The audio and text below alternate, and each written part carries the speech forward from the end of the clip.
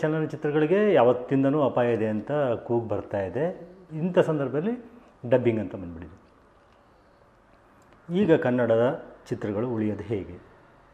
ಈಗ ಅನ್ಯಾಯ ಹೇಗಾಗುತ್ತೆ ಅಂತ ನನಗೆ ಈಗ ಒಂದು ನಮ್ಮ ಬೆಂಗಳೂರಲ್ಲೇ ತಿಳ್ಕೊಳ್ಳಿ. ಈಗ ಬೆಂಗಳೂರಿನ ನಮ್ಮ ಜನಸಂಖ್ಯೆ ನೋಡಿದರೆ ಯಾವಾಗಿಂದನೂ ಕನ್ನಡದ ಜನಸಂಖ್ಯೆ ಸುಮಾರು ಇಪ್ಪತ್ತಾರು, ಇಪ್ಪತ್ತೆಂಟು ಪರ್ಸೆಂಟ್ ಇಪ್ಪತ್ತೆಂಟು, ಮೂವತ್ತಾಗಿರ್ಬೋದು ಅಷ್ಟೇ.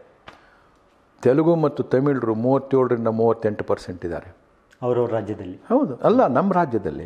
ಓಹೋ ಹ್ಞೂ ಬೆಂಗಳೂರಲ್ಲಿ ನಾ ಹೇಳೋದು ಬೆಂಗಳೂರಲ್ಲಿ ಮೂವತ್ತೇಳರಿಂದ ಮೂವತ್ತೆಂಟು ಪರ್ಸೆಂಟ್ ತೆಲುಗು ಮಾತಾಡೋರು ಮತ್ತು ಮೂವತ್ತು ಮೂವತ್ತು ಆರರಿಂದ ಮೂವತ್ತೆಂಟು ಪರ್ಸೆಂಟು ತಮಿಳು ಮಾತಾಡೋರು ಜನ ಇದ್ದಾರೆ.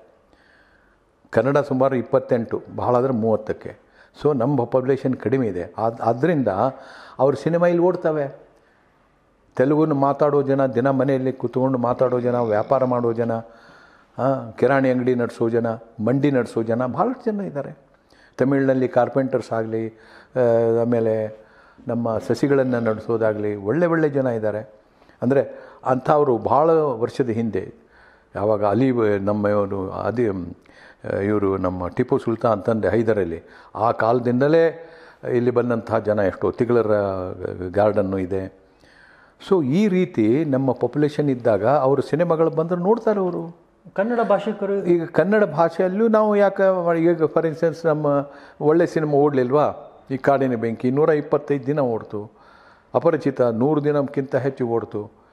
ತೆಲುಗುನಲ್ಲಿ ಕೂಡ ಅದನ್ನು ಮಾಡಿದಾಗ ನೂರು ದಿನ ಓಡ್ತು. ಸೊ ಒಳ್ಳೆ ಚಿತ್ರಗಳು ಯಾವುದೇ ಭಾಷೆಯಲ್ಲಿ ಬಂದರೂ ಜನ ನೋಡ್ತಾರೆ ಅಂತ ನನ್ನ ಒಂದು ನಂಬಿಕೆ. ಇನ್ನೊಂದು ಚಿತ್ರ ಬಂದು ಚೆನ್ನಾಗಿ ಓಡ್ತಾ ಇದೆ ಅಂತಂದರೆ ನಮಗದು ಆ ಚಿತ್ರದ ಒಳ್ಳೆತನ ತೊಗೋಬೇಕಾಗತ್ತೆ. ಅದು ನಮಗೆ ಕಾಂಪಿಟಿಷನ್ ವಿದೌಟ್ ಕಾಂಪಿಟಿಷನ್ ನೀವು ಹೇಗೆ ಮುಂದೆ ಬರ್ತೀರಿ? ನಿಮ್ಗೆ ಒಳ್ಳೆ ಚಿತ್ರ ಮಾಡೋದು ನೀವೇ ಮಾಡಿದ್ದೇ ಒಳ್ಳೆಯದು ಕೆಟ್ಟ ಮಾಡಿದ್ರು ಒಳ್ಳೆಯದು ಅಂತಂದರೆ ಹ್ಯಾಂಗೆ ಬೆಳೆಯೋದು ಹೇಗೆ ನಾವು? ನಾವು ಬೆಳಿಬೇಕಂತಂದರೆ ಇನ್ನೊಂದು ಬೇರೆ ಒಂದು ಒಳ್ಳೇದು ಬೇಕಲ್ಲ. ಅದನ್ನು ನೋಡಿ ನಾವು ಬೆಳಿಬೇಕಾಗ್ತದೆ. ಅದು ನಮಗನ್ನು ಆ ಆ ಒಂದು ಟೈಮ್ನಲ್ಲಿ ನಮ್ಮನ್ನು ಹಿಂದೆ ಹಾಕ್ಬೋದು. ಆದರೆ ನಮಗೆ ಬುದ್ಧಿ, ಸಾಮರ್ಥ್ಯ, ಜ್ಞಾನ ಎಲ್ಲ ಇದ್ದರೆ ಅದನ್ನು ನಾವು ಇಟ್ಕೊಂಡು ಯಾಕೆ ಓಡ್ತದೆ, ಯಾಕೆ ಜನ ಹೋಗ್ತಾ ಇದ್ದಾರೆ ಅದಕ್ಕೆ ಅಂತ ತಿಳ್ಕೊಂಡು ನಾವು ಆ ಥರ ಬೆಳಿಬೇಕು. ಇವತ್ತು ಬೇರೆ ಬೇರೆ ಚಿತ್ರಗಳು ಬರ್ತಾ ಇದ್ದಾವೆ. ಈ ಇಂಗ್ಲೀಷ್ ಬರ್ತವೆ ಹಿಂದಿ ಬರ್ತವೆ, ಇನ್ನೊಂದು ತಮಿಳು ಬರ್ತದೆ, ಅವೆಲ್ಲ ಓಡ್ತವೆ. ಚೆನ್ನಾಗಿದ್ರೆ ಓಡ್ತವೆ. ಚೆನ್ನಾಗಿರಲಿಲ್ಲ ಅಂದ್ರೆ ಅವು ಓಡೋದಲ್ಲ. ಅವ್ಯಾಕೆ ಓಡೋದು? ಚೆನ್ನಾಗಿಲ್ಲ ಅಂದರೆ ಅವ್ಯಾಕೆ ಓಡ್ತವೆ? ಅದರ ಮಧ್ಯದಲ್ಲಿ ಕನ್ನಡ ಒಂದು ಒಳ್ಳೆ ಸಿನಿಮಾ ಬಂದರೆ ಓಡ್ತದೆ ಕನ್ನಡ ಸಿನಿಮಾ. ಈವನ್ ಬೆಂಗಳೂರೊಳಗೆ ಕೂಡ. ಬೇರೆ ನೀವು ಗ್ರಾಮದಲ್ಲಿ ಹೋದರೆ ಇವತ್ತು, ಈಗ ಫಾರ್ ಇನ್ಸ್ಟೆನ್ಸ್ ಕರ್ನಾಟಕದಲ್ಲಿ ಹಾಗೆ ಇದೆ, ನೀವು ಸ್ವಲ್ಪ ಬಾಗೇಪಲ್ಲಿ ಅತ್ಲಾಗೆಲ್ಲ ಹೋದರೆ ತೆಲುಗು ಜನ ಹೆಚ್ಚಿಗೆ ಮಾತಾಡ್ತಾರೆ. ಅಲ್ವೇ? ನಮ್ಮ ಈ ಬೆಳಗಾಮಿಂದ ಆಚೆಗೆ ಹೋದರೆ ಮರಾಠಿ ಮಾತಾಡ್ತಾರೆ, ಕಾರವಾರಕ್ಕೆ ಹೋದರೆ ಕೊಂಕಣಿ ಮಾತಾಡ್ತಾರೆ. ಸೊ ಇಲ್ಲಿ ಕ್ರಾಸ್ ಕಲ್ಚರಲ್ ಇನ್ಫ್ಲೂಯೆನ್ಸ್ ಇದೆ. ಈಗ ಬೇಂದ್ರೆ ಅವರು ಮರಾಠಿ ಮಾತಾಡ್ತಾ ಇದ್ದರು ಹಿಂದಿ, ಆದರೆ ಅದ್ಭುತವಾದ ಕನ್ನಡ ಅವರು ಬರಹಗಾರರು, ಅಲ್ವೇ? ಮಾಸ್ತಿ ತಮಿಳ್ನವರು, ಒಳ್ಳೆ ಕನ್ನಡ ಬ, ಅತ್ಯಂತ ಸುಂದರವಾದಂಥ ಕನ್ನಡ ಸಾಹಿತ್ಯವನ್ನು ಬರೆದರು. ಸೊ ಇದು ನಾನು ಹೇಳೋದು, ನಿಮಗೆ ಅದರಲ್ಲಿ ರುಚಿ ಇದ್ದರೆ ಖಂಡಿತವಾಗಿ ಆ ಭಾಷೆ ಯಾವಾಗಾದರೂ ಸಾಯಲ್ಲ. ಕನ್ನಡನೂ ಸಾಯಲ್ಲ, ತಮಿಳು ಸಾಯಲ್ಲ, ತೆಲುಗುನೂ ಸಾಯಲ್ಲ, ಮಲಯಾಳಂನೂ ಸಾಯಲ್ಲ. ಅವೆಲ್ಲ ಇರಬೇಕು. ಅವರವರು ಅಧಿಕೃತವಾದ ಭಾಷೆಯಲ್ಲಿ ಸಿನಿಮಾ ಮಾಡಬೇಕು, ನಾಟಕ ಮಾಡಬೇಕು, ಸಾಹಿತ್ಯ ಬರಬೇಕು, ಸಾಹಿತ್ಯ ಪ್ರಸಾರ ಆಗಬೇಕು ಎಲ್ಲ ಕಡೆಗೆ. ಅದರಲ್ಲಿರುವಂಥ ಅದ್ಭುತ ಜನ ಫಂಟಾಸ್ಟಿಕ್ ನಾನು ನೋಡಿದ್ದೇನೆ ಕೇರಳ ಜನ ಕೆಲವರು. ಅದ್ಭುತವಾದಂಥ ಭಾಳ ಸಿಂಪಲ್ ಜನ. ಅದ್ಭುತವಾದಂತಹ ಕೃತ್ಯಗಳನ್ನು ಮಾಡಿದ್ದಾರೆ. ತೆಲುಗುನಲ್ಲಿ, ತಮಿಳಲ್ಲಿ, ಕನ್ನಡದಲ್ಲಿ, ಕನ್ನಡ ಇನ್ನೂ ಭಾಳ ಹಳೆಯ ಭಾಷೆ. ತುಂಬ ಜನ ಇದ್ದಾರೆ. ಸೊ ಇದನ್ನು ನಾವು ಜ್ಞಾನದಲ್ಲಿ ಇಟ್ಕೋಬೇಕು. ಇದನ್ನು ನಾವು ಮನಸ್ಸಲ್ಲಿ ಇಟ್ಕೋಬೇಕು. ಯಾವುದೇ ಒಂದು ನೀವು ಕೃತ್ಯ ಮಾಡಬೇಕು, ಯಾವುದೇ ಒಂದು ಕೃತಿ ರಚಿಸಬೇಕು ಅಂತಂದರೆ ಅದು ಸಾಹಿತ್ಯ ಆಗಲಿ ಪೊಯೆಟ್ರಿ ಆಗಲಿ ಸಿನಿಮಾ ಆಗಲಿ, ನಾಟಕ ಆಗಲಿ, ನಿಮಗೆ ಅದರಲ್ಲಿ ಸಾಕಷ್ಟು ಮನಸ್ಸು ಹೋಗಿ ಏಕಾಗ್ರತೆಯಿಂದ ಕೂತ್ಕೊಂಡು ನೀವು ಅದನ್ನು ಗ್ರಹಿಸಿದರೆ ಖಂಡಿತವಾಗಿ ನೀವು ಆ ಭಾಷೆಯನ್ನು ಬೆಳೆಸ್ಬೋದು ಆ ಸಂಸ್ಕೃತಿಯನ್ನು ಬೆಳೆಸ್ಬೋದು ಆ ವಲಯವನ್ನು ಬೆಳೆಸ್ಬೋದು ಸುಸ್ಥಿರವಾಗಿರ್ಬೋದು. ತಾವು ಹೇಳ್ತಾ ಇದ್ರಿ ಸಮಾಜದ ಬಗ್ಗೆ ಕಳ್ಕಳಿ ಇರಬೇಕು ಅಂತ ಹೇಳಿ. ಜ್ಞಾನ. ಈಗಿನ ನಿರ್ಮಾಪಕರು ನಿರ್ದೇಶಕರು ತಂತ್ರಜ್ಞರು ಏ ಜನ ಕೇಳೋದಿದೆ ಕಣ್ರಿ ಅಂತ ಹೇಳಿ ನೇರವಾಗಿ ಜನರ ಮೇಲೆ ಆರೋಪ ಹೊರಿಸ್ತಾರೆ. ನೀವು ನಿರ್ದೇಶಕರಾಗಿ ಈ ಆರೋಪನ ಒಪ್ಕೊಳ್ತೀರಾ? ಈಗ ಮರ್ಡರ್ ಅಂತ ಒಂದು ಫಿಲ್ಮ್ ಕೇಳಿ. ನಾನು ಆ್ಯಕ್ಟ್ ಮಾಡಿದ್ದೆ ಅದರಲ್ಲಿ. ನನ್ನ ನೆನಪು ಇಲ್ಲ ನಿಜವಾಗಿ ಹೇಳಬೇಕಂದ್ರೆ. ಆ ಮನುಷ್ಯನಿಗೆ ಆ್ಯಕ್ಚುಲಿ ಡೈರೆಕ್ಷನ್ ಗೊತ್ತಿದ್ದಿಲ್ಲ. ಆದರೆ ನಮ್ಮ ಎಡಿಟರು ಅವನು ಎಡಿಟ್ ಮಾಡಿದ್ದಕ್ಕೆ ನನಗೆ ಬಂದು ಕೇಳಿದೆ ಅವನು ರೋಲ್ ನೀವೇ ಮಾಡ್ಬೇಕಂತ ಹೇಳ್ತಿದ್ದಾನೆ ಮಾಡಿಯಪ್ಪ ಅಂತ. ಅದು ಸಿಕ್ಸ್ಟೀನ್ ಎಂ ಎಂ ಫಿಲ್ಮ್ ಇರಬೇಕು ಆಮೇಲೆ ಅದು ನೂರು ದಿನ ಓಡ್ತದೆ. ಬಿಜಾಪುರದಲ್ಲಿ ಧಾರವಾಡದಲ್ಲೆಲ್ಲ ಮರ್ಡರ್ ಅದು ಏನೇನೋ ಮಾಡಿದ್ದ. ನಾನು ನೋಡಿದೆ ನನಗೆ ಅರ್ಥನೇ ಆಗಿಲ್ಲ ಅದು ಸಿನಿಮಾ ನಿಜವಾಗಿ ಹೇಳ್ಬೇಕಂದ್ರೆ. ಅಂದರೆ ನನಗೇನು ಇಂಪ್ಯಾಕ್ಟ್ ಆಗಲಿಲ್ಲ. ಆದರೆ ಅದು ಜನಕ್ಕೆ ಇಷ್ಟ ಆಯಿತು. ಈ ಥರ ಆದರೆ ಅದು ಉಳಿಲಿಲ್ಲ. ಇದು ನಮ್ಮ ಎಲ್ಲಿಂದಲೋ ಬಂದವರು ಲಂಕೇಶ್ ಅವರು ಮಾಡಿದ ಚಿತ್ರ. ಖಂಡವಿದಕ್ಕೋ ಮಾಂಸವಿದೆ ಖಂಡವಿದಕ್ಕೋ ಖಂಡವಿದಕ್ಕೋ ಅಷ್ಟು ಜನರಿಗೆ ಗೊತ್ತಿಲ್ಲ ಬಟ್ ಎಲ್ಲಿಂದಲೋ ಬಂದವರು ಖಂಡಿತವಾಗಿ ಒಳ್ಳೆಯ ಸಿನಿಮಾ. ಯಾಕಂದರೆ ಅದರ ಬಗ್ಗೆ ಚೆನ್ನಾಗಿ ಬರೆದಿದ್ದರು ಸದಾಶಿವ ನಮ್ಮ ಅವರು ಡೈಲಾಗ್ಸ್ ಬರೆದಿದ್ರು. ಸಂ ಲಂಕೇಶ್ ಅವರು ಅದ್ರ ಬಗ್ಗೆ ಭಾಳಷ್ಟು ಯೋಚನೆ ಮಾಡ್ತಿದ್ರು. ಬ್ಲ್ಯಾಕ್ ಆ್ಯಂಡ್ ವೈಟ್ ಫಿಲ್ಮ್ ಅದು ಕೂಡ. Black and white film colour film ಮಾಡ್ಬೇಕಾದ್ರೆ ಬ್ಲ್ಯಾಕ್ ಆ್ಯಂಡ್ ವೈಟ್ ಫಿಲ್ಮ್ ಮಾಡಿದರು. ಸುಮಾರು ಆ ಟೈಮ್ನಲ್ಲೇ ನಾಲ್ಕೇನು ಐದು ವಾರ ಓಡ್ತದ್ದು ಬೆಂಗಳೂರಲ್ಲಿ. ಭಾಳ ಸುಂದರವಾದಂಥ ನಾನು ಲೋಕೇಶು ವಿಮಲಾ ನಾಯ್ಡು ಮತ್ತು ಇನ್ನೊಬ್ಬಳು ಇವಳು ಘಟಶ್ರಾದ್ದ ಹೀರೋಯಿನ್. ಈ ಈ ನಾಲ್ಕು ಜನರ ಸುತ್ತ ಹೆಣದಂತಹ ಕಥೆ ಅದು. ತುಂಬ ಸು- ಸುಂದರವಾಗಿತ್ತು. ಅದರೊಳಗೆ ಪ್ರೊಫೆಸರ್ಸ್ ಬರ್ತಾರೆ. ಲಂಕೇಶ್ ಅವ್ರಿಗೆ ಲಂಕೇಶ್ ಒಂದು ಫ್ಯಾಂಟಾಸ್ಟಿಕ್ ರೈಟರ್ ಅವರ ಡೈಲಾಗ್ಸು ಅವರ ಆಮೇಲೆ ಆ ಪೋಯಮ್ಸ್ ಎಲ್ಲ ಬರೋದು. ಅಲ್ಲೆಲ್ಲೇ ಕೂತ್ಕೊಂಡು ಬರೋ ಅವರು. ಒಂದು ಅರ್ಧ ಗಂಟೆಯಲ್ಲಿ ಒಂದು ಎರಡು ಮೂರು ಇದು ಕವಿತೆಗಳನ್ನು ಬರೆದ್ರು ಆ ಚಿತ್ರಕ್ಕೆ. ಅದು ನೋಡಿದ್ದೇನೆ ನಾನು. ಸೊ ಅವರು ಅದ್ಭುತವಾದಂಥ ಈ ಸಾಹಿತ್ಯಿಕ ಹಿನ್ನೆಲೆ ಇರೋದರಿಂದ ಆ ಸಾಹಿತ್ಯಕ್ಕೆ ಹಿನ್ನೆಲೆ ಕೂಡ ಬಂದಿದ್ದು ಅವ್ರಿಗೆ ಸುಮ್ಮನೆ ಓದಿ ಬಂದಿಲ್ಲ. ನೋಡಿ ಬಂದಿರೋದು. ನಾನು ಹೇಳಿದ್ನಲ್ಲ, ಸಾಮಾಜಿಕ ಕಳಕಳಿ, ಸಾಮಾಜಿಕ ಜ್ಞಾನ, ಸಾಮಾಜಿಕ ವ್ಯವಹಾರ, ಸಾಮಾಜಿಕ ಅರ್ಥ, ಸಾಮಾಜಿಕ ಸಂಪ್ರದಾಯ, ಇದರ ಬಗ್ಗೆ ಸಾಕಷ್ಟು ತಿಳುವಳಿಕೆ ಇದ್ದವರು ಮಾತ್ರ ಅದು ಬರೀಲಿಕ್ಕೆ ಸಾಧ್ಯ ಆಗ್ತದೆ. ಆ ರೀತಿಯ ಲಂಕೇಶ್ ಅವರು. ಆದ್ದರಿಂದ ಅವರಿಗೆ ಟೆಕ್ನಿಕಲಿ ಎಲ್ಲೋ ಕಡೆಗೆ ವೀಕ್ ಇದ್ದರೂ ಕೂಡ ಅವರು ಸಾಹಿತ್ಯಿಕವಾಗಿ ಸ್ಟ್ರಾಂಗ್ ಇರೋದರಿಂದ ಸಿನಿಮಾದಲ್ಲಿ ಅದು ತೋರಿಸ್ತಾ ಇತ್ತು. ನೀವು ನೀವು ಲಂಕೇಶ್ ಅವ್ರನ್ನ ಈಗ ನಿರ್ದೇಶಕರಾಗಿ ಇಷ್ಟಪಡ್ತೀರೋ? ನಾನು ಅವ್ರಿಗೆ ರೈಟರ್ ಆಗಿ ನಾನು ಇಷ್ಟಪಡ್ತೇನೆ. ಪತ್ರಕರ್ತರಾಗಿ. ಪತ್ರಕರ್ತರಾಗಿಂತ ಹೆಚ್ಚು ರೈಟರ್ ಐದ ರೈಟರ್ ಅವ್ರು ತುಂಬ ಚೆನ್ನಾಗಿ ಬರೆಯೋದು ಅವ್ರಿಗೆ ಸ್ಟೈಲ್ ಏನಿದೆ ಭಾಳ ಸುಂದರವಾದಂಥ ಸ್ಟೈಲ್ ಇದೆ. ಆಮೇಲೆ ಭಾಳ ಇಫೆಕ್ಟಿವ್ ಅದೇ. ತುಂಬ ಒಂದು ಸತ ಏಡ್ಸ್ ಬಗ್ಗೆ ಒಂದು ಏಡ್ಸ್ ಬಗ್ಗೆ ಒಂದು ಅಂದರೆ ಇಂಗ್ಲೀಷ್ ಇಂಗ್ಲೀಷ್ ಇಂಗ್ಲೀಷು ಇಂಗ್ಲೀಷು ಇದು ಕವಿ ಬಗ್ಗೆ ಒಂದು ಸುಂದರವಾದಂಥ ಲಂಕೇಶ್ ಪತ್ರಿಕೆ ಒಳಗೆ ಬರೆದಿದ್ರು. ಇಷ್ಟು ಸುಂದರವಾಗಿ ಬರೆದಿದ್ರು ಅವನು ಕೂತ್ಕೊಂಡು ಮಾತನಾಡ್ತಿರ್ತಾನೆ ಯಾವ ರೀತಿಯಲ್ಲಿ ಜನ ಬಂದು ಓಡಾಡ್ತಿರ್ತಾರೆ ಹೋಗ್ತಿರ್ತಾರೆ ಅದ್ರ ಬಗ್ಗೆ ಒಂದು ವಿಶ್ಲೇಷಣೆ ಕೊಟ್ಟಿದ್ರು. ನನಗೆಷ್ಟು ಇಷ್ಟ ಆಯಿತು ನಾನು ತಕ್ಷಣ ಫೋನ್ ಮಾಡಿ ಲಂಕೇಶ್ ಅದ್ಭುತವಾಗಿ ಬರೆದಿರಿಂದ ಏ ಬಾರಪ್ಪ ಸಾಯಂಕಾಲ ಕುಡೋಣ ಅಂತ. ಭಾಳ ಇಮೋಷ್ನಲ್ ವ್ಯಕ್ತಿ. ಲಂಕೇಶ್ ಭಾಳ ಭಾವುಕ ಮನುಷ್ಯ. ಭಾವುಕರು ಇರಬೇಕಾಗ್ತದೆ. ಮನುಷ್ಯ ಅಂದಮೇಲೆ ಭಾವನೆಗಳು ಇಲ್ಲದೆ ಹೇಗೆ ಬದುಕಲಿಕ್ಕೆ ಸಾಧ್ಯ? ಕೆಲವ್ರಿಗೆ ಅನ್ನಿಸ್ತದೆ ನಾವು ಭಾವನೆ ಗೀವನೆ ತೋರಿಸೋದಲ್ಲ ಅಂತ. ತೋರಿಸಲಿಲ್ಲ ಅಂದರೂ ನಿಮ್ಮಲ್ಲೇ ಭಾವನೆಗಳು ಇರ್ತವೆ. ತೋರಿಸಲಿಲ್ಲ ಅಂತಂದ್ರೆ ಜನರಿಗೆ ತೋರಿಸಲಿಲ್ಲ ಅಂತ ಇರಬಹುದು ಸೊ ನನ್ನ ಪ್ರಕಾರ ಭಾವುಕ ಮನುಷ್ಯರು ಇಷ್ಟ ನನಗೆ. ಇದು ಸಿನಿಮಾದಲ್ಲಿಯೂ, ನಿಮ್ಮ ಸಾಹಿತ್ಯದಲ್ಲಿಯೂ ಪೋಯಟ್ರಿಯಲ್ಲಿಯೂ ಭಾವನೆಗಳಿರಬೇಕು. ಭಾವನೆಗಳು ಇಲ್ಲದೆ ಹೇಗೆ ಜೀವನ ಮಾಡಲಿಕ್ಕೆ ಸಾಧ್ಯ? ನನಗೆ ಅನಿಸಿದರೆ ಮಾತ್ರ ತಾನೇ ನಾನು ಏನಾದರೂ ಮಾಡಲಿಕ್ಕೆ ಸಾಧ್ಯ. ನನಗೆ ಅನಿಸ್ಬೇಕದು ಸ್ಟ್ರಾಂಗ್ ಆಗಿ. ನನಗೆ ಭಾಳ, ಇದು ಒಂಥರ, ಅದು ಜೀರ್ಣ ಆಗಬೇಕು ಒಂದು ನನ್ನ ಹೃದಯದಲ್ಲಿ. ಆವಾಗ ಮಾತ್ರ ಅದರ ಬಗ್ಗೆ ನಾನು ಪ್ರತಿ ಒಂದು ಪ್ರತಿಬಿಂಬಿಸ, ಅಂದರೆ ಪ್ರತಿಸ್ಪರ್ಧಿಸಲಿಕ್ಕೆ ಸಾಧ್ಯ ಆಗ್ತದೆ. ಇಲ್ಲ ಅಂತಂದ್ರೆ ಆಗೋದಲ್ಲ. ಸುಮ್ಮನೆ ಬಂದು ಓದಿದೆ ಆಯಿತು, ಓದಿದೆ ಅಂತಲ್ಲ. ಆ ಓದಿದ್ರ ಮೇಲೆ ನಿಮ್ಮ ಮೇಲೆ ಪರಿಣಾಮ ಆದರೆ ಪರಿಣಾಮ ಯಾವ ರೀತಿ ಆಗುತ್ತೆ? ಅಲ್ವೇ? ನಾವೇನೋ ಅದ್ರ ಬಗ್ಗೆ ವಿಚಾರ ಮಾಡ್ಬೋದು ಅದ್ರ ಬಗ್ಗೆ ಹೇಳ್ಬೋದು ಯಾರಿಗೂ ಅದ್ರ ಬಗ್ಗೆ ಏನೋ ನನ್ನ ನನ್ನಲ್ಲಿ ನಾಟಿದರೆ ಆ ರೀತಿ ನಡ್ಕೊಳ್ಳೋವಂಥ ಪ್ರಯತ್ನ ಮಾಡ್ಬೋದು. ಇವನ್ನ ನಾವು ತೋರಿಸ್ಬೇಕಾಗತ್ತೆ. ಸೊ ಈ ರೀತಿ ನನಗೆ ಭಾವನೆಗಳು ಭಾಳ ಮಹತ್ವ ಅಂತ ಅನ್ನಿಸ್ತದೆ ಅದು ಪೋಯೆಟ್ನಲ್ಲಾಗಲಿ ಅದು ಲಂಕೇಶಲ್ಲಿ ಇತ್ತು ಭಾಳ ಭಾವಕ ಮನುಷ್ಯ. ಅವಳು ಒಂದೊಂದು ಸತಿ ಹತ್ತು ಬಿಡ್ತಿದ್ರು ನನ್ನ ಹಿಡ್ಕೊಂಡು ಮೇಲೆ ಹತ್ಬಿಟ್ರು ಅಲ್ಲಿ ಮೈಸೂರಲ್ಲಿ. ಏನೂ ಗೊತ್ತಿಲ್ಲ ಯಾಕೋ. ಆ ಥರ ನನಗೆ ಇಷ್ಟ ಆಯ್ತದು. ಅಂದರೆ ಆ ಮನುಷ್ಯನಿಗೆ ಭಾವನೆಗಳು ಭಾಳ ಸುಂದರವಾಗಿದ್ದು. ಅವನಿಗೆ ಎಲ್ಲೋ ಒಂದು ಕಷ್ಟ ಆಯಿತು ಏನೋ ಒಂದು ಅಪ್ಸೆಟ್ ಆಗಿರ್ಬೋದು ಏನೋ ಆಗಿರ್ಬೋದು. ಬಟ್ ನಾನು ಅದನ್ನು ಎಕ್ಸ್ಪೆಕ್ಟ್ ಮಾಡಿದ್ದಿಲ್ಲ. ಬಟ್ ಯಾಕಂದರೆ ಇವರು ಲಂಕೇಶ್ ವೆಂಕೇಶ್ ಅಂತ ಅಂದ್ಕೊಳ್ಳೋ ದೊಡ್ಡ ವ್ಯಕ್ತಿಗಳಲ್ಲ ಅವರೆಲ್ಲ ಭಾಳ ಸ್ಟ್ರಾಂಗ್ ಇರ್ತಾರೆ. ಮೆಂಟಲಿ ಅಂತ ಇರುತ್ತೆ. ಹಾಗಿರಲ್ಲ. ನಾನು ಅನೇಕ ಜನರ ಜೊತೆಗೆ ಸಾಕಷ್ಟು ಕಾಲ ಕಳೆದಿದ್ದೇನೆ. ದೊಡ್ಡ ದೊಡ್ಡ ಜನರು ಅಥವಾ ದೊಡ್ಡವರಂತ ನಾವೇನು ಹೇಳ್ತೇವೆ ಅಂದರೆ ಲೇಖಕರಾಗಲಿ ಅಥವಾ ಪೊಲಿಟಿಷಿಯನ್ಸ್ ಆಗಲಿ ಅಥವಾ ಸಾಮಾಜಿಕ ಕಾರ್ಯಕರ್ತರಾಗಲಿ, ಪರಿಸರವಾದಿಗಳಾಗಲಿ, ಕ, ನಮ್ಮ ಕಾರಂತರ ಜೊತೆಗೆ ಸಾಕಷ್ಟು ಟೈಮ್ ಕಳೆದಿದ್ದೇನೆ ನಾನು. ಶಿವರಾಮ್ ಕಾರಂತರ ಜೊತೆಗೆ.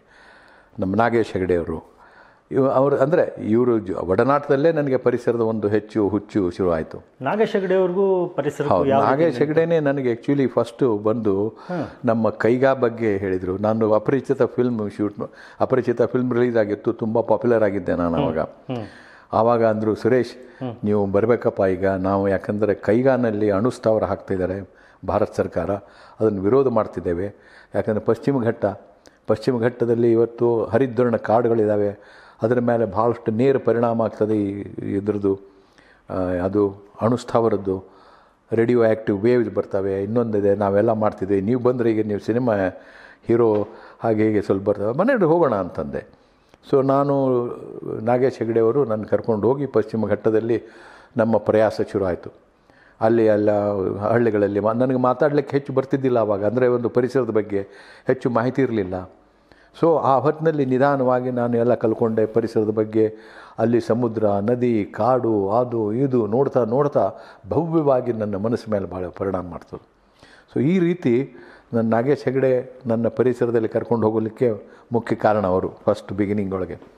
ಸೊ ಹೀಗೆ ನಾಗೇಶ್ ಹೆಗಡೆಯವರ ಪರಿಚಯ. ಆಮೇಲೆ ನಾನು ಅವರು ಸೇರಿ ಅನೇಕ ರೀತಿಯ ಪಶ್ಚಿಮ ಘಟ್ಟ ಉಳಿಸಿ ಅಭಿಯಾನಗಳಾಯಿತು ಆಮೇಲೆ ಈ ಕಾಡಿನ ಅದು ನಮ್ಮ ಕೈಗಾಣು ಸ್ಥಾವರ ಬಂದ್ ಮಾಡಬೇಕು ಅಂತ ಹೇಳಿ ದೊಡ್ಡ ದೊಡ್ಡ ಸಭೆಗಳಾದವು. ಇಂಡಿಯನ್ ಇನ್ಸ್ಟಿಟ್ಯೂಟ್ ಆಫ್ ಸೈನ್ಸಲ್ಲಿ ನೂರಾರು ಜನ ದೊಡ್ಡ ದೊಡ್ಡ ಎಕ್ಸ್ಪರ್ಟ್ಸು ಪಂಡಿತರು, ಅವರು, ಇವರು ಬಂದು ಭಾಷಣ ಮಾಡಿದರು. ಅಯ್ಯರು, ಅವರು ಇಂಥವರೆಲ್ಲ ರಾಜಾರಾಮಣ್ಣ. ರಾಜಾರಾಮಣ್ಣ ರಾಮಕೃಷ್ಣ ಹೆಗಡೆ ಹೆಗಡೆ ಇದೆ ಈ ಪರಿಸರವಾದಿಗಳಿಗೆ ಬುದ್ಧಿ ಇಲ್ಲ. ಏನೇನೋ ಮಾತಾಡ್ತಾರೆ ಅಂತ ರಾಜಾರಾಮಣ್ಣ ದೊಡ್ಡ ಸೈಂಟಿಸ್ಟ್ ಅಲ್ಲ ಅವರು. ಅವ್ರಿಗೇನು ಗೊತ್ತಿಲ್ಲ. ಸೊ ನಮ್ಮ ನಾಗೇಶ್ ಹೆಗ್ಡೆ ಹೇಳಿದರು, ಅಂದರೆ ಇವರು ಕೈಗಾ ಪಕ್ಕದಲ್ಲಿ ಹೋಗಿ ಮನೆ ಕಟ್ಕೊಂಡಿರ್ಲಿಕ್ಕೆ ಹೇಳಿ ಅವ್ರಿಗೆ ಅಂತಂದ್ರು. ಸೊ ಈ ರೀತಿ ಇವತ್ತು ಪರಿಸರ ಭಾಳ ಮುಂದುವರೆದಿದೆ. ಅಂದರೆ ಭಾಳ ಮುಂದುವರೆದಿದೆ. ಅಂದರೆ ನಾವು ಪಶ್ಚಿಮ ಘಟ್ಟಗಳ ಬಗ್ಗೆ ಸಾಕಷ್ಟು ಮಾತಾಡ್ಬೋದು. ಆದರೆ ಇವತ್ತು ಜಗತ್ತಿನಲ್ಲಿ ಗ್ಲೋಬಲ್ ವಾರ್ಮಿಂಗ್ ಕ್ಲೈಮೇಟ್ ಚೇಂಜ್ ಆಗೋದಕ್ಕೆ ಕಾರಣವೇ ನಮ್ಮ ಜನಸಂಖ್ಯೆಯ ಬೆಳವಣಿಗೆ ಜನಸಂಖ್ಯೆಯ ಬೆಳವಣಿಗೆ ಜೊತೆ ಜೊತೆಗೆ ನಮ್ಮ ಆರ್ಥಿಕ ಅಭಿವೃದ್ಧಿ. ಆರ್ಥಿಕ ಅಭಿವೃದ್ಧಿ ಅಂತಂದರೆ ಸಾ ನಮ್ಮ ಇಂಡಸ್ಟ್ರಿಯಲ್ ಅಂದರೆ ಇದು ನಮ್ಮ ವೈಜ್ಞಾನಿಕವಾಗಿ, ತಂತ್ರಜ್ಞಾನವಾಗಿ ಭಾಳಷ್ಟು ಮುಂದೆ ಬೆಳೆದಿದ್ದೇವೆ. ಇದರಿಂದ ಇವತ್ತು ನೂರ ಎಂಟು ಪ್ರೊಡಕ್ಟ್ಸ್ ದಿನಾಲೂ ನಾವು ಯೂಸ್ ಮಾಡುವಂಥ ಅನೇಕ ವಸ್ತುಗಳು ನಿರ್ಮಾಣ ಆಗ್ತವೆ. ಈ ನಿರ್ಮಾಣ ಆಗೋದಕ್ಕೆ ನಮ್ಮ ಪವರ್ ಬೇಕು. ಅದಕ್ಕೆ ನಾವು ಇದ್ದಲ್ಲಿ ಸು ಕಲ್ಲಿದ್ದಲು ಸುಡ್ತೇವೆ, ಆಮೇಲೆ ಆಯಿಲ್ ಸುಡ್ತಾ ಇದ್ದೇವೆ ಗ್ಯಾಸ್ ಸುಡ್ತಾ ಇದ್ದೇವೆ. ಇದು ಎಲ್ಲ ಹೋಗಿ ವಾತಾವರಣದಲ್ಲಿ ಸೇರಿಕೊಂಡು ಇದು ಸಿಕ್ಕಾಪಟ್ಟೆ ಇವತ್ತು ಟೆಂಪ್ರೇಚರ್ ಇದೆ. ಬೆಂಗಳೂರಿನಲ್ಲಿ ಇವತ್ತು ಈ ಥರ ನಾನು ಎಂದೂ ನೋಡ್ತಿರಲಿಲ್ಲ ಹಿಂದೆ. ನಮ್ಮ ಕೆರೆಗಳು ಇಡೀ ಬೆಂಗಳೂರನ್ನು ಸೆಲೆಬ್ರೇಸ್ ಕ್ಲೈಮೇಟ್ ಅಂತ ಇಂಗ್ಲೀಷ್ ಒಳಗೆ ಒಂದು ವರ್ಡ್ ಇದೆ. ಸೆಲೆಬ್ರೇಷನ್ ಭಾಳ ತಂಪಾದ, ಸುಖವಾದ, ಅದು ಅದು ಒಂದು ಏನು ಪರಿಸ್ಥಿತಿ ಇದು ಅಟ್ಮಾಸ್ಫಿಯರ್ ವಾತಾವರಣ. ಆ ವಾತಾವರಣ ಇಲ್ಲ ಈಗ. ಕೆರೆಗಳನ್ನೆಲ್ಲ ನಾಶ ಮಾಡಿದ್ವಿ. ಕೆರೆಗಳ ಸುತ್ತಮುತ್ತ ಶಾಪಿಂಗ್ ಕಾಂಪ್ಲೆಕ್ಸ್ ಮಾಡಿದ್ವಿ. ಕೆರೆಗಳ ಸುತ್ತಮುತ್ತ ಬಡಾವಣೆಗಳನ್ನು ಮಾಡಿದ್ವಿ. ಮಳೆ ಬರೋದು ಬೀಳಬೇಕಲ್ಲ. ಮಳೆ ಬಂದದ್ದು ಬಿದ್ದು ಹುಲ್ಲು, ಕಂಟಿಯೊಳಗೆ ಹೋಗಿ, ಹುಲ್ಲು, ಕಂಟಿಯೊಳಗಿನ ಪೌಷ್ಟಿಕಾಂಶಗಳನ್ನು ತಗೊಂಡು ಕೆರೆಯೊಳಗೆ ನೀರು ಹೋಗ್ಬೇಕದು. ಆವಾಗ ಅಲ್ಲಿ ಏಡಿ, ಮೀನು ಎಲ್ಲ ಬದುಕ್ತವೆ. ಆವಾಗ ನೀರು ಬರ್ತದೆ. ಇವತ್ತು ಎಲ್ಲಿದೆ? ನೀರು ಎಲ್ಲಿ ಬೀಳ್ತದೆ? ಎಲ್ಲಿ ಹೋಗುತ್ತದೆ ರಾಜ ರಾಜಕಾಲುವೆಗಳೆಲ್ಲ ಮುಚ್ಚಿ ಹಾಕಿದ್ದಾರೆ. ಅದ್ರ ಮೇಲೆ ರೋಡ್ ಮಾಡಿದ್ದಾರೆ. ಅದ್ರ ಮೇಲೆ ಬಿಲ್ಡಿಂಗ್ಸ್ ಕಟ್ಟಿದ್ದಾರೆ. ದೊಡ್ಡ ದೊಡ್ಡ ಡೆವಲಪರ್ಸ್ ಎಲ್ಲ. ಸೊ ಈ ರೀತಿ ನಾವು ಬೆಂಗಳೂರನ್ನು ಹಾಳು ಮಾಡಿದ್ದೇವೆ. ಯಾಕಂತಂದರೆ ಮುಖ್ಯವಾಗಿ ಇವತ್ತು ದುಡ್ಡು ಬೇಕಾಗಿದೆ ಎಲ್ಲರಿಗೂ. We are all after chasing money chasing well ದುಡ್ಡು ಬೇಕೇ ಬೇಕು, ನನಗೂ ಬೇಕು, ನಿಮಗೂ ಬೇಕು, ಎಲ್ಲರಿಗೂ ಬೇಕು. ಆ ಪರಿಸ್ಥಿತಿ ಅನಿವಾರ್ಯತೆ. ದುಡ್ಡಿನ ಬೆನ್ನು ಹತ್ತೋದು ಅನಿವಾರ್ಯತೆ ಆಗಿದೆ ಈಗ. ನಮಗೆ ಬೇಡಂದ್ರೂ ಕೂಡ ಬದುಕೋದು ಹೇಗೆ? ಬೇಡಂದ್ರೆ ನಾಳೆ ನಿಮ್ಗೆ ಊಟ ಸಿಗಲ್ಲ, ಮನೆ ಸಿಗಲ್ಲ. ಸೊ ಈ ರೀತಿ ನಮ್ಮ ಆರ್ಥಿಕ ಪಾಲಿಸಿಗಳು, ಅಂದರೆ ಸರ್ಕಾರ ಇದ್ರ ಬಗ್ಗೆ ಯೋಚನೆ ಮಾಡಬೇಕು. ಇಡೀ ಜಗತ್ತಿನ ಸರ್ಕಾರಗಳಿಗೆ, ಪ್ರತಿಯೊಂದು ರಾಷ್ಟ್ರದ ಸರ್ಕಾರಕ್ಕೆ ಇದರ ಬಗ್ಗೆ ಮಾಹಿತಿ ಇದ್ದರೂ ಕೂಡ ಸರ್ಕಾರ ಏನು ಮಾಡದಂಥ ಸ್ಥಿತಿಯಲ್ಲಿದೆ. ಈ ಅನಿವಾರ್ಯತೆಗಳು ಹೇಗೆ, ಈಗ ಕೋವಿಡ್ ಬಂದಿದೆ ಈಗ. ಅಂದರೆ ಈ ಕೊರೋನಾ ವೈರಸ್, ಈ ಕೊರೋನಾ ವೈರಸ್ಸು ನಮ್ಮ ಎಷ್ಟೋ ಆರ್ಥಿಕ ಚಟುವಟಿಕೆಗಳನ್ನು ಹತ್ತಿಕ್ಕಿಟ್ಟಿದೆ ಕೆಳಗೆ. ಅದರಿಂದಲೇ ಸ್ವಲ್ಪ ಒಂದು ಎರಡು ಮೂರು ತಿಂಗಳು ಬೆಂಗಳೂರು ಸುಂದರವಾಗಿ ಕಾಣಿಸ್ತಿತ್ತು. ಗಿಡಮರಗಳು ಚೆನ್ನಾಗಿದ್ದು, ಎಲ್ಲ ನಮ್ಮ ವಾತಾವರಣ ಚೆನ್ನಾಗಿತ್ತು. ಆಮೇಲೆ ನಮ್ಮ ಏರ್ ಪೊಲ್ಯೂಷನ್ ಇರಲಿಲ್ಲ. ಸೊ ಯಾಕೆಂತಂದರೆ ಗಾಡಿಗಳು ಬರ್ತಿರಲಿಲ್ಲ ಆರ್ಥಿಕ ಚಟುವಟಿಕೆಗಳಿಲ್ಲ ಫ್ಯಾಕ್ಟ್ರಿಗಳಿರಲಿಲ್ಲ ಈ ಥರ ಎಲ್ಲ ಆಗ್ತಿತ್ತು. ಬಟ್ ಈಗ ಮತ್ತೆ ಒಂದು ಸೌದೆ ಲಾಕ್ಡೌನು ಲಿಫ್ಟ್ ಮಾಡಿದ ಮೇಲೆ ಮತ್ತೆ ಶುರುವಾಗಿದೆ. ಸೊ ಈ ರೀತಿ ನಾವು ನಮ್ಮ ಜಗತ್ತಿನಲ್ಲಿ ಯಾವ ರೀತಿ ಈ ತಂತ್ರಜ್ಞಾನ ಅಥವಾ ಈ ಆರ್ಥಿಕ ಚಟುವಟಿಕೆಗಳನ್ನು ಕಡಿಮೆ ಮಾಡಬೇಕು ಅಂತನ್ನೋದು ಹುಡುಕಬೇಕಾಗಿದೆ. ಹೌದು. ಎಂಟು ನೂರು ಕೋಟಿ ಜನ ಈ ಭೂಮಿ ಮೇಲೆ ಇರ್ತಿದ್ದಾರೆ ಒಂಬತ್ತು ನೂರಕ್ಕೆ ಸದ್ಯದಲ್ಲಿ ಹೋಗ್ತಾ ಇದ್ದೇನೋ. ನಮ್ಮ ಭೂಮಿಯಲ್ಲಿ ಬೆಳೆಯುವಂಥ ಖಾದ್ಯ ಆಫ್ರಿಕಾದಲ್ಲಿ ಎಷ್ಟೋ ಖಂಡಗಳಲ್ಲಿ ಜನಕ್ಕೆ ಇವತ್ತು ಕುಡಿಯೋ ನೀರು ಸಿಗ್ತಾ ಇಲ್ಲ. ಒಂದು ಇದು ಮಾಹಿತಿ ಪ್ರಕಾರ ನಮ್ಮ ಜಗತ್ತಿನ ಎರಡು, ಸುಮಾರು ಎರಡು ನೂರು ಕೋಟಿ ಜನರಿಗೆ ಈಸಿಯಾಗಿ ಕುಡಿಲಿಕ್ಕೆ ನೀರು ಸಿಗ್ತಾ ಇಲ್ಲ. ಇಂಥ ಪರಿಸ್ಥಿತಿ ಇವತ್ತಿದೆ. ಬೆಂಗಳೂರಲ್ಲಿ ಕೂಡ ನಮಗೆ ಬರೋ ನೀರು ಬರೇ ಒಂದು ಕಾವೇರಿಯಿಂದ ಬೇರೆ ಕೆರೆಗಳೆಲ್ಲ ಹಾಳಾಗಿ ಹೋಗಿಬಿಟ್ಟು. ತಿಪ್ಪೆಗುಂಡನಹಳ್ಳಿ ಪೂರ್ತಿ ನಾಶ ಮಾಡಿದ್ವಿ ಅನೇಕ ದೊಡ್ಡ ದೊಡ್ಡ ಕೆರೆಗಳನ್ನು ನಾಶ ಮಾಡಿದ್ದೇವೆ ಬೆಳಂದೂರು ನಾಶ ಮಾಡಿದ್ದೇವೆ. ಅಲ್ಲಿ ನೀವು ಏನು ಎಸ್ ಟಿ ಪಿ ಹಾಕಿ, ಎಷ್ಟೋ ಕೋಟಿ ರೂಪಾಯಿ ಹಾಕಿ ಮಾಡಿದರೂ ಕೂಡ ಆ ಕೆರೆಗಳು ಸ್ವಚ್ಛ ಆಗಲ್ಲ ಸ್ವಚ್ಛಾಗಿ ಉಳಿಯಲ್ಲ ಭವಿಷ್ಯದಲ್ಲಿ. ಒಂದು ಕೆರೆ ಸ್ವಚ್ಛ ಉಳಿಬೇಕಂದ್ರೆ ಅದಕ್ಕೆ ಜಲಾನಯನ ಪ್ರದೇಶ ಇರಬೇಕು, ಕಂಟಿ ಇರಬೇಕು, ಹುಲ್ಲಿರಬೇಕು, ಗಿಡ ಇರಬೇಕು, ಮಣ್ಣಿರಬೇಕು. ಅದಿಲ್ಲ ಅಂತಂದರೆ ಯಾವುದೇ ಕೆರೆ ಉಳಿಯಲ್ಲ. ಅದು ಬರೀ ಕೆರೆ ಒಂದು ಕಾಣಿಸ್ಲಿಕ್ಕಿರುತ್ತದೆ. ಅದು ಸುಂದರವಾಗಿ ಒಂದು ರೋಡ್ ಕಟ್ತಾರೆ, ಕೆಲವೊಂದು ಹೂವಿನ ಗಿಡ ಹಾಕ್ತಾರೆ. ಬ್ಯೂಟಿಫುಲ್ ಅಂತ.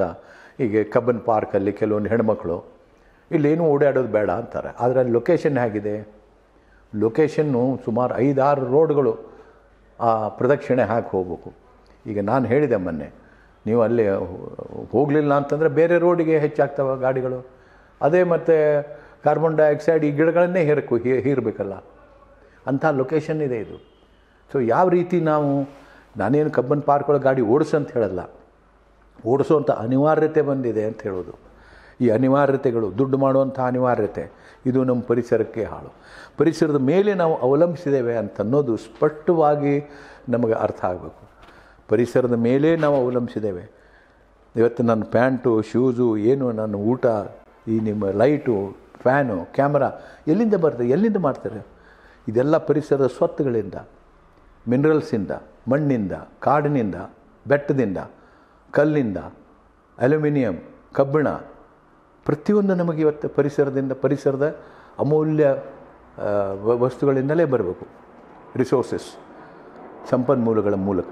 ಈ ಸಂಪನ್ಮೂಲ ಮೇಲೆ ಹೇಗೆ ನಾವು ಅವಲಂಬಿಸಿದ್ದೇವೆ, ಸಂಪನ್ಮೂಲಗಳನ್ನು ಯಾವ ರೀತಿ ನಾವು ಉಪಯೋಗಿಸಬೇಕು, ಯಾವ ರೀತಿ ಕಡಿಮೆ ಉಪಯೋಗಿಸು, ಕಲುಷಿತ ಮಾಡದೇ ಕಲುಷಿತಗೊಳಿಸದೇ ನೀರಾಗಲಿ ಹವೆ ಆಗಲಿ ಮಣ್ಣಾಗಲಿ, ಇವು ಮೂರು ಅತಿ ಮುಖ್ಯವಾದದ್ದು ನಮ್ಮ ಪರಿಸರಕ್ಕೆ. ಇವನ್ನ ಕಲುಷಿತೆ, ಕಲುಷ, ಇದನ್ನು ನಾವು ಪೊಲ್ಯೂಟ್ ಮಾಡ್ದೇ ಕಲುಷಿತಗೊಳಿಸಿದನೇ ನಮ್ಮ ಜೀವನ ಸುಸ್ಥಿರವಾಗಿ ನಾವು ಇಡಬೇಕು ಅಂತಂದರೆ ಅದಕ್ಕೆ ಒಂದು ಸ್ಟ್ರಾಂಗ್ ಆದಂಥ ಎನ್ವೈರ್ಮೆಂಟ್ ಪಾಲಿಸಿ ಇಕನಾಮಿಕ್ ಪಾಲಿಸಿ ಜೊತೆಗೆ ಓಡಬೇಕದು. ಆವಾಗ ಮಾತ್ರ ನಾವು ಸುಸ್ಥಿರವಾಗಿ ಜಗತ್ತಲ್ಲಿ ಬಾಳಲಿಕ್ಕೆ ಸರಿಯಾಗುತ್ತೆ. ಒಳ್ಳೆಯ ಸಿನಿಮಾಗಳನ್ನು ಮಾಡ್ಬೋದು. ಪರಿಸರದ ಬಗ್ಗೆ ಇವತ್ತು ಸಿನಿಮಾ ಮಾಡೋದು ತುಂಬ ಕಷ್ಟ ಇದೆ. ಯಾಕಂತಂದ್ರೆ ಅದು ಅರ್ಥ ಆಗಬೇಕು ಜನರಿಗೆ. ಇವತ್ತು ಕಂಪ್ಯೂಟರ್ ಇದೆ, ಮಕ್ಕಳೆಲ್ಲ ಹೋಗಿ ಕಂಪ್ಯೂಟರ್ ಮುಂದೆ ಕೂಡ್ತಾರೆ, ಕ್ಯಾಮ್ರಾ ತೊಗೋತಾರೆ, ಅಥವಾ ಇದು ಮೊಬೈಲ್ ತೊಗೋತಾರೆ. ಅದು ಅದ್ರ ಅದ್ರ ಎದುರಿಗೆ ಕೂತ್ಕೊಂಡು ಪೂರ್ತಿ ಒಂದು ಪಾಠ ಕಲಿಯುತ್ತಾರೆ. ಅವರಿಗೆ ನೇರವಾಗಿ ಒಬ್ಬ ಮಾಸ್ತರ್ ಬಂದು ಹೇಳೋದು, ಮಾಸ್ತರ್ ನಟನೆ, ಮಾಸ್ತರ್ ಒಂದು ಅಭಿನಯ, ಅಂದರೆ ನಾನು ಹೇಳೋದು ಈ ಶಿಕ್ಷಣದಲ್ಲಿ. ಅದು ಇದ್ದಾಗ ಮನಸ್ಸಿನ ಮೇಲೆ ಪರಿಣಾಮ ಮಾಡ್ತದೆ ಇವತ್ತು ನಾವು ಟೀಚರ್ಸನ್ನು ಯಾಕೆ ನಾವು ನೆನಪಿಡ್ತೇವೆ ಅಂತಂದರೆ, ಆ ಟೀಚರ್ಸ್ ನಮಗೆ ಹೇಳಿದ್ದು ವಿಷಯಗಳು, ಆ ಹೇಳಿದ್ದು ರೀತಿ, ಆ ಹೇಳಿದ್ದು, ಆ ವಿಧಿ ವಿಧಾನ ಬಳಸಿದ್ದು ಶಿಕ್ಷಣದಲ್ಲಿ. ಅದು ನಮ್ಮ ಮನಸ್ಸಲ್ಲಿ ಉಳಿದಿದೆ. ಅದೇ ನಮಗೆ ಶಿಕ್ಷಣ ಕೊಟ್ಟಿರೋದು.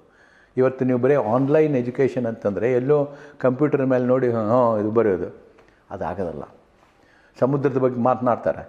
ಎಷ್ಟೋ ಜನ ನಮ್ಮ ಪರಿಸರವಾದಿಗಳನ್ನು ನೋಡಿ, ಸಮುದ್ರದಲ್ಲಿ ಕಾಲಿಡಲ್ಲ. ಹೌದು. ಅಲ್ಲೇನಪ್ಪ ನಾನು ನಾನು ನೋಡಿದ್ದೇನೆ ಇದನ್ನು. ನದಿಗಳ ಬಗ್ಗೆ ಆಗಲಿ, ಪರಿಸ, ಪಶ್ಚಿಮ ಘಟ್ಟಗಳ ಬಗ್ಗೆ ಆಗಲಿ ಕಾಡಿನೊಳಗೆ ಹೋಗೋದಲ್ಲ, ಹೆದರಿಕೆ. ಆ ಥರದ ಶಿಕ್ಷಣ ನಾವು ಕೊಟ್ಟುಬಿಟ್ಟೆ ಇವತ್ತು ಮಕ್ಕಳಿಗೆಲ್ಲ. ಅಂದರೆ ಈಗ ಬೇರೆಯೇ ಒಂದು ಒಂದು ಅಡ್ವೆಂಚರು ಇನ್ನೊಂದು ಅಥವಾ ಮಾಡೋರು ಇದ್ದಾರೆ ಇಲ್ಲಂದು ಎಲ್ಲರಿಗೂ ಅಂತ ಹೇಳೋದಿಲ್ಲ. ಸೊ ಈ ರೀತಿಯ ನಮ್ಮ ಒಂದು ಸಮಾಜವನ್ನು ಕಟ್ತಾ ಇದ್ದೇವೆ ನಾವು. ಆ ಸಮಾಜ ಬದಲಾಗಬೇಕು. ಸಿನಿಮಾಗಳು ಒಳ್ಳೆಯದಾಗಬೇಕು ಅಂತ ನಾನು ಸಿನಿಮಾದಲ್ಲಿ ಮಾಡಿದ್ದರಿಂದ ಹೇಳ್ತೇನೆ. ಸಿನಿಮಾಗಳು ಮಾಡೋದು ಸಿನಿಮಾ ಮಾಡೋದು ಒಂದು ಭಾಳ ದೊಡ್ಡ ಸಾಹಸ ಅಂತಲ್ಲ, ಒಂದು ಒಳ್ಳೆಯ ಒಂದು ಅಡ್ವೆಂಚರ್ ಸೆನ್ಸ್ ಆಫ್ ಇದು ಅದು. ಥ್ರಿಲ್ ಸೊ ಅದು ಬರಬೇಕು ಅಂತಂದರೆ ಒಂದು ವಾತಾವರಣ ಚೆನ್ನಾಗಿರಬೇಕು. ಸಾಮಾಜಿಕ, ಆರ್ಥಿಕ, ಇವೆಲ್ಲ ವಾತಾವರಣ ಚೆನ್ನಾಗಿದ್ದರೆ ನಿಮಗೆ ಸಿನಿಮಾ ಅದಕ್ಕೆ ಹಿಂದಿನ ಸಿನಿಮಾಗಳಲ್ಲಿ ಎಷ್ಟೋ ಜನ ಭಾಳಷ್ಟು ಕಾನ್ಸಂಟ್ರೇಟ್ ಮಾಡ್ತಿದ್ರು. ಭಾಳಷ್ಟು ಟೈಮ್ ಒಂದು ಪದ್ಯ ಬರಿಬೇಕು, ಒಂದು ಪೋಯಮ್ ಬರಿಬೇಕು, ಒಂದು ಸಾಂಗ್ ಬರಿಬೇಕು ಅಂತಂದರೆ ಟೈಮ್ ಹಿಡಿಯೋದು ಅದಕ್ಕೆ. ಒಂದು ಒಳ್ಳೆ ಕಥೆ ಬರಿಬೇಕು ಅಂತಂದ್ರೆ ತುಂಬ ಟೈಮ್ ತೊಗೊಳ್ಳೋರು ಆವಾಗ ಅದ್ಭುತವಾಗಿ ಅದ್ರ ಬಗ್ಗೆ ನಟನೆ ಮಾಡಿಸ್ತಿದ್ರು, ಅದ್ಭುತವಾಗಿ ನಿರ್ದೇಶನ ಆಗ್ತಿತ್ತು. ಹೀಗಾಗಿ ನಮಗೆ ಒಳ್ಳೆ ಸಿನಿಮಾಗಳು ಸಿಗ್ತಿತ್ತು ಆವಾಗ. ಇವತ್ತು ಭಾಳ ಕಡಿಮೆ ಟೈಮ್ನಲ್ಲಿ ಇಷ್ಟೇ ಖರ್ಚು ಮಾಡಿ, ಬೇರೆ ಬೇರೆ ತಂತ್ರಜ್ಞಾನ ಯೂಸ್ ಮಾಡಿ ನಾವು ಏನೇನೋ ಮ್ಯೂಸಿಕ್ ಕೊಟ್ಟು ಸಿನಿಮಾ ಮಾಡಬೇಕಾಗಿದೆ. ಅದರೊಳಗೆ ಎಲ್ಲೋ ಒಂದು ನೂರೊಳಗೆ ಒಂದು ಫಿಲ್ಮು, ಎರಡು ಫಿಲ್ಮು ಒಳ್ಳೆಯದಾಗಿರ್ತದೆ ಮಿಕ್ಕಿದ ಫಿಲ್ಮ್ಗಳು ಅದು ಆಗಲ್ಲ ಅವರೆಲ್ಲ ಸೋಲ್ತಾರೆ. ಈ ಪರಿಸ್ಥಿತಿ ಬರಬಾರ್ದು. ಯಾಕಂದರೆ ಸಿನಿಮಾ ಮಸ್ತ್ ಸುಸ್ಥಿರವಾಗಿ ಉಳಿಬೇಕು. ಎಂತನ್ನೋ ಒಂದು ನನ್ನ ನಂಬಿಕೆ. ಇದು ಎಷ್ಟು ಜನರು ಇದ್ರ ಬಗ್ಗೆ ಹಾಗೆ ತಿಳ್ಕೊತಾರೋ ನನಗೆ ಗೊತ್ತಿಲ್ಲ, ಆದರೆ ನನಗೆ ತಿಳಿದಿದ್ದನ್ನು ನಾನು ನಿಮ್ಮ ಎದುರಿಗೆ ಹೇಳಲಿಕ್ಕೆ ಪ್ರಯತ್ನ ಮಾಡೀನಿ. ತುಂಬ ನಿರರ್ಗಳವಾಗಿ, ತುಂಬ ಸುಲಲಿತವಾಗಿ ಸಾಕಷ್ಟು ಅನುಭವದ ಹಿನ್ನೆಲೆಯಲ್ಲಿ ತಾವು ಮಾತಾಡಿದಿರಿ. ಪ್ರೇಕ್ಷಕರಿಗೆ ಸಾಕಷ್ಟು ನಿಮ್ಮ ಅನುಭವಗಳನ್ನ ಹೇಳಿದಿರಿ. ನಿಮ್ಮ ಬಗ್ಗೆ ಒಂದಷ್ಟು ಏನು ಇನ್ನಷ್ಟು ಪ್ರೀತಿ, ವಿಶ್ವಾಸ ನಮ್ಮ ವೀಕ್ಷಕರಿಗೆ ಜಾಸ್ತಿ ಆಗಿದೆ ಅಂತ ಈ ಸಂದರ್ಭದಲ್ಲಿ ನಾವು ಭಾವಿಸ್ತೀವಿ. ಮನಸಾರೆ ಕಾರ್ಯಕ್ರಮಕ್ಕೆ ಬಂದಿದ್ದಕ್ಕೆ ನಾವು ಮನಸಾರೆ ನಿಮ್ಮನ್ನು ವಂದಿಸ್ತೀವಿ. ಧನ್ಯವಾದಗಳು.